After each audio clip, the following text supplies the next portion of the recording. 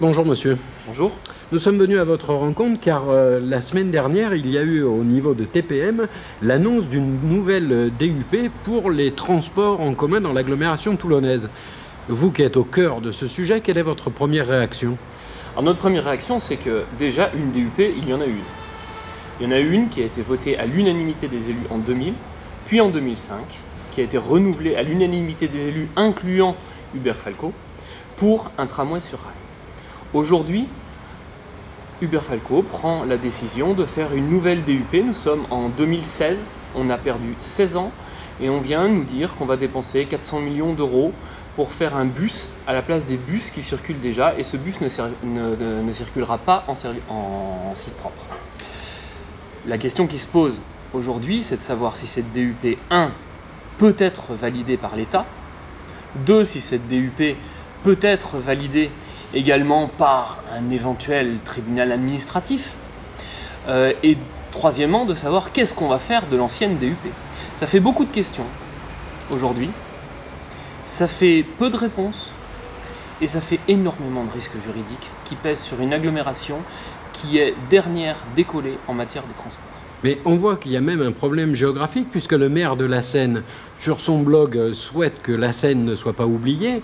Et on voit que les Hierrois euh, prennent le sujet en disant Mais s'ils ont bien compris, ces transports en commun vont s'arrêter à la garde. Alors, effectivement, l'arrêté de DUP qui va être pris, c'est une liaison entre la Seine et la garde. Effectivement, les Hierrois sont les grands oubliés dans ce genre de dossier.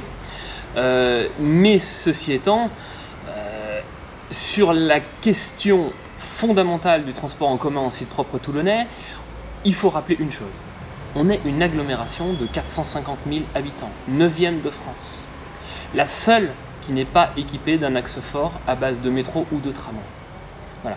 C'est ce qui fait que les déplacements sont aussi compliqués chaque jour dans notre, dans notre agglomération et que chaque jour, les citoyens qui habitent cette ville le déplorent, vivent dans les bouchons et n'arrivent pas à se déplacer.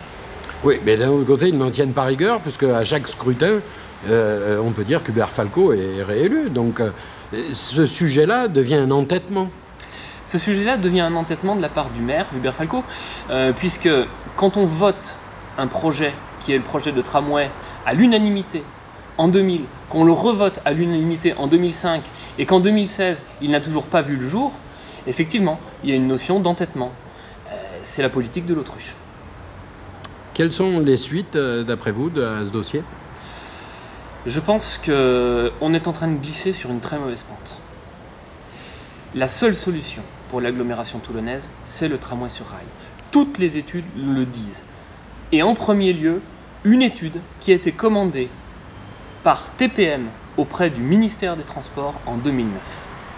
Cette étude-là, c'est le cœur de la défense du projet de tramway. Elle montre que le projet de tramway est absolument indispensable pour le développement socio-économique de l'agglomération toulonnaise. Dans ces conditions-là, faire un autre choix, et en particulier le choix du bus au niveau de service, c'est un choix stupide, c'est un choix d'entêtement politique, c'est un choix déraisonnable, et c'est un choix, je le dis aujourd'hui, on l'avait déjà dit il y a 5 ou 6 ans, qui va conduire à un bourbier juridique. Eh bien écoutez, je vous remercie et puis euh, suite au prochain numéro. Merci à vous.